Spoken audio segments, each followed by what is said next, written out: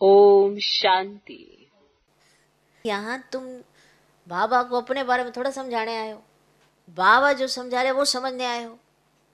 Originality तो यही है कि बाबा हमारे बारे में जानते हैं। हम नहीं, पर हम क्या करते हैं, हम अपने बारे में ही अपने बाबा को बता रहे होते हैं। कितना ज़बरदस्त रिकॉर्ड है ना हमारा।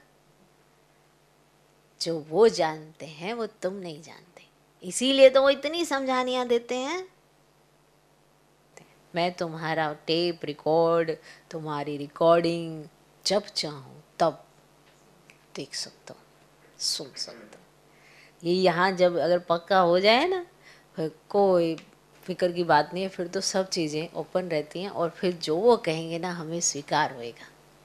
फिर तो जो कहे बाप दादा, वो हम करेंगे। तब आता है जीवन में परिवर्तन। हर बोल का सार नहीं होता। कई बार कहते भी हो, मेरी भावना, मेरा भाव खराब नहीं था। ऐसे ही निकल गया। वह बोल दिया, लेकिन जिस बोल में आत्मिक भाव और शुभ भावना नहीं, वो किस खाते में जमा होगा?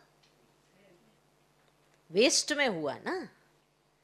तो कमाई का खाता ज़्यादा होगा या गवाने का खाता ज़्यादा होगा? ये तो गवाया ना। तो बोल में भी गवाने का खाता ज़्यादा होता है। ओम शांति।